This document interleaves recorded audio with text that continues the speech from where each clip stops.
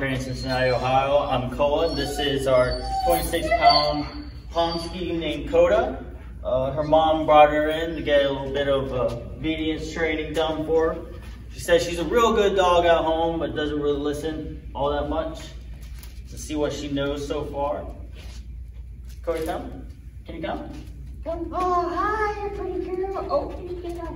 You can do that. You can't jump on people. Cody, can you sit? Sit. Oh, no, just gonna go over there. Cody, come. Oh, hi. Hi. Can you down for me? Can you down? Can you down? Can you down for me? No, no down. Okay, kid, let's go for a walk. Over here.